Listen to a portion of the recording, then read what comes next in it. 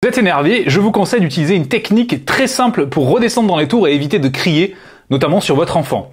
Vous allez garder sur vous une photo ou la garder en mémoire de votre enfant lorsqu'il était bébé.